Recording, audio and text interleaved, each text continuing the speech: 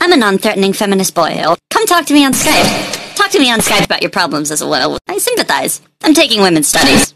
I took women's studies. I know what systematic means. Man, I'm so horny today. Sorry, I'm sorry. I feel so bad. I just came out and said inappropriate.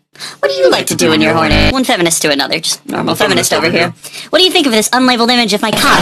I sent it to you titled image.png. Are you surprised by its girth? I apologize. How rude of me. I'm so sorry. I really need to get better at this. I'm sorry. I'm learning so much. All humans must go through growth, and I know that better than anyone. I mean,